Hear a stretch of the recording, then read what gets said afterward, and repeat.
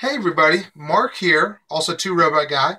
Going to do a quick review of some of my entries uh, for the NASA Handrail Challenge, uh, sponsored by GrabCAD.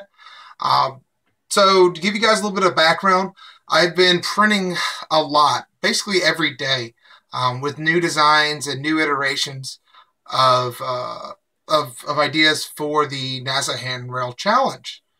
Um, so to to start at the beginning, uh, this was one of the first prints I did. Uh, this was a proof of concept. Uh, basically, this uh, the the rail slides into it uh, with a locking feature. Um, it gave a pretty strong hold. Uh, so that was the first one I did, um, just for proof of concept to, to, say that that a thread on the side will work. Um, from there, I went and did some research. Uh, with the research, I came up with this design, and this is called a, a buttress style threads. Uh, you might be able to see um, on the thread profile that there's a 45 degree and then a 7 degree relief um, on the top side. That gives it all the strength in the compression, um, but doesn't give it that much strength in the elongation.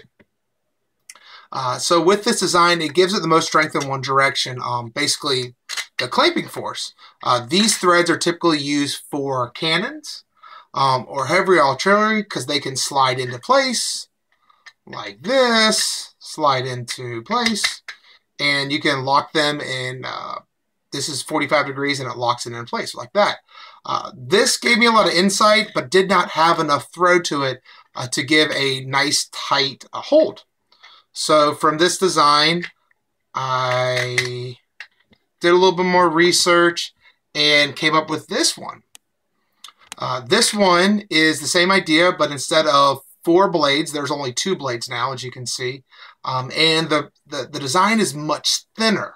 Um, so just like the other one, uh, you would kind of have to have all three of these pieces held in your hand. You'd put it over the rail. You'd slide this into place and lock it down. And it, gave a pretty pretty decent hold at the beginning, but over time it loosens up. And you might be able to see, um, but this surface right here, or this piece, is not perpendicular uh, to this plane. Um, so it's applying a lot of stress right down at the root of the thread. Um, so this was my first uh, stumbling block in this design um, how much force is enough to keep it tight and how much is too much force. Um, with too much force, the the pin broke. And when I mean broke, it broke. Uh, this is just a, a, handful of the ones I printed. I printed a lot. Um, but you can see that when they broke, it was always at the the heel of it. Right at the bottom, it already broke. Um, because uh, because there is a moment being placed on it, so it's not being pulled straight across. Uh, it's it's being kind of levered, or you know, kind of uh, being I guess levered uh, on one of the edges, and then the crap uh, or the the uh, crack is propagated, um, and then it just rips. Um, so that was one of the issues I had at the beginning of the design. So there's a couple of them that I printed but uh, but I said, oh, I'm going to make this work. I'm going to keep on working on the design to see what I can do to give it some more strength. So with some more strength, um, I found out you could print these. If this is going to come out, this one's really tight. There we go. Um, you can print them not uh, flat, so that would be flat. I printed them at a slight angle, so this was the, the base of the plane. Um, you can see that it was printed at a slight angle. Um, that did give it more strength. I'd say maybe 20% more strength, um, but it still was susceptible to breaking. Um, so there's one of the designs. Um, I went and made from this one to that one. I made the uh, uh, where the arm is a little bit thicker, thinking it would give me a little more strength. It did, but not too much. The still the crack the the, the crack propagated um, right where the split was. Um, to try to make it so there wasn't a bending moment on it, I printed these four pieces. This has been cut post-process uh, to understand more of what was happening. Um, but this gave me a lot of strength. Um, the only problem with it was it, it's four pieces. Um, it's kind of big and bulky, um, but it, it, was the same idea. So that would slide in, and this would lock down, and that would lock up. So that was a uh, that was the next design I made. Um, had some advantages, disadvantages. Learned that you did not have to print this rail um, perfectly uh, vertical on the posts, but you actually can print it at an angle, and it still gave you the same strength. Um, so that was that was really interesting. Um, so from this design, I said I'm going to go back to the original one um, and make it so it was a complete unit. So this is the the next one in the series, but this is cool. This is I haven't seen this in a lot of designs, um, but there's kind of a dovetail cut into it. So this piece goes and slides in. Um, so when it's in the out position, it holds there. Um, and there's a longer arm down here. So when the um, when it go when it when the uh, the handrail slides into place, it gives a little more strength in that direction. Um, sliding this over and putting it back, it was stronger. I started doing some tests on it, and as you can see, if we can get that off. As you can see, the crack propagated again. Um, so everybody that's printing uh, threads vertically, it's not when is it gonna, it's not if it's gonna crack, it's when it's gonna crack. Um, it happened to every one of mine, no matter what density, what strength I gave it. Um, printing it vertically, you get a lot less strength out of it. Um, so that was that was the last one I designed was uh, that one. Uh, then I actually went back to the drawing boards of, of basically one of my one of my uh, most original designs uh, was to have a thread in the back. But I learned from every one of these going across um, which way to print everything, um, what gave it the best strength. So, so marrying the the best of all of them. So this has a support in the back that gave me a lot of strength, and using the thread idea, um, I was able to come up with this really really small design. Um, I used to have, I, the first one I did of this one. It did not. Um, it was two separate pieces, but I was able to print this one um, and make it so it was just one piece. So kind of I married these together with a little mix of this one uh, that gave me this. So this design has uh, a little bit of support. So that's the, all the support that's on this one. Um, being a RepRap kind of guy, I don't like support. Uh, but with this design, um, I want to get the most strength properties of, of the print. So the most strength properties is having it around uh, the rail. Uh, so it had a little bit of support. It's barely any support, but that's just what it is. Uh, but this is the, the newest design.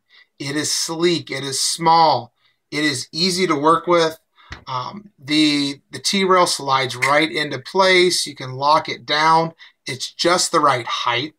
Um, but this is what I like the best about it. So it, it, it has a thread right here. So that, that becomes, um, uh, that goes and unthreads. Uh, but there's a thread in the opposite side right here. So you can see it stays in one piece if you want it to be in one piece. Um, this is a very unique thread. This is still that buttress style thread. Um, but instead of being printed vertically, this thread was printed horizontally and a little bit of support was put on the bottom of it. But printing it horizontally gives it the most amount of strength in that pins. Um, Nathan on uh, on the GrabCAD forum talked about the strength values that you get in this direction compared to this direction. He prints all his pins horizontally now instead of vertically in his designs. So this design uh, is really simple. It has the least amount of plastic of all of them. Um, but basically, uh, the astronaut would go and then slide it into place. Um, there is a small relief. You might be able to see it. There's a there's a one millimeter relief on either side. Um, the one thing I did not want to do was harm the handrail when you slid it into place, but all it is is just a, an easy slide into place. And then you twist it in. Um, so it's coming off this one. And then now it's free floating. Um, so with it free floating, you go then and just latch it in place, and that's it. You can see it does deform, but still all my strength in this in this uh, direction. Um, so I'm not having any issues. And this is the strongest hold I've had out of all of them, every one of them. And the reason it's so strong is that this is pulling on both sides and squeezing it down. Um, it's a very thin design. I think I'm going to come out with another one and put uh, another one of these on this side, uh, just so and the astronauts have an option. Um, but this is uh, the newest one. I'm going to upload it tonight. Um, this is the best design I've had. It is uh, has low amount of plastic it uses. Um, it's strong. It's durable. It has the least amount of leakage, uh, linkage points. Um, I saw some other ones that are really cool designs, but there was a lot of intricate pieces. This, it's two pieces. You take off the support material, and let's see if this, there we go. So all it is, is two pieces. Oh, all it is, is these two pieces. One, two. It's printed just like, printed just like this and then you just remove some of those support material on the bottom. You remove some inside. Uh, took no more than a minute, and it slides right into place. Um, when you're not using it, I like to keep it just like this. And there it is. Um, oh, also some other things I, I, I learned uh, with printing this is that infill stinks. um, to be nice. Uh, if you guys are printing uh, with anything, try to turn your infill off um, or increase the amount of shell layers.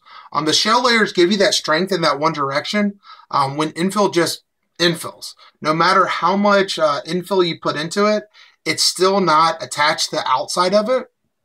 And it's just basically just stuff in the way. Um, so when you're printing anything, turn your shell value all the way up. So if it's just, if it's able to print um, continuous strands inside of it, it'll give you the most amount of strength. Um, but that's my design. I hope you guys like it. Um, and I'm going to do a little bit of testing, hopefully, before the contest is over. Um, but hands down, this is the simplest design. Um, the least amount of parts, the least amount of moving parts um, that you could have uh, 3D printing it and it gives you an unbelievable hold. Um, so, guys, I hope you like it. Please uh, put some comments down on the bottom with any ideas. I'm always open ideas, and I'm going to post these files uh, up tonight. Thanks.